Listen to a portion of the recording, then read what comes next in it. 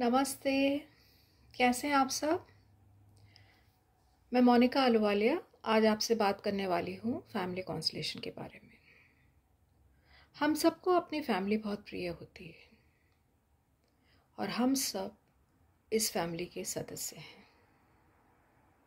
और सदस्य होने के नाते हम सबके अपने दायरे होते हैं, अपनी रिस्पॉन्सिबिलिटी होती है और साथ साथ अपना एक जगह होती है।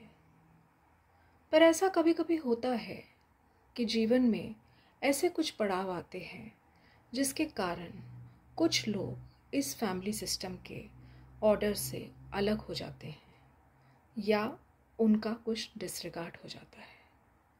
पर डिसरिगार्ड या एक्सक्लूजन होने से या उनको याद ना करने से क्या फैमिली पर इसका असर होता है?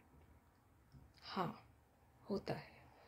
और इसका असर इतना तेज और भारी होता है कि यहाँ तक कि वो फैमिली मेंबर जब रहते भी नहीं हैं और आगे की जनरेशन्स जब आती हैं तो वह भी इस इम्पैक्ट को महसूस करती हैं।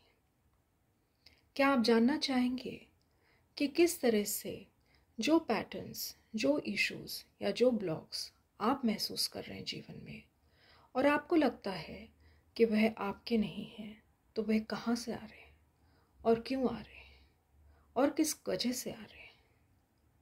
और जब आप इन सबको जान पाएँगे, इन सबको देख पाएँगे, उस विजडम तक पहुँच पाएँगे तो किस तरह से आप इन सब इश्यूज़ और पैटर्न्स से बाहर आ सकते हैं, मुक्त हो सकते हैं और अपना जीवन अपने अनुसार जी सकते हैं?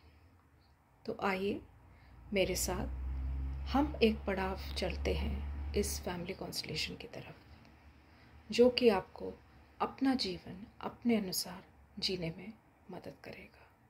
और यह जीवन होगा खुशहाल पीसफुल और स्वतंत्र। धन्यवाद।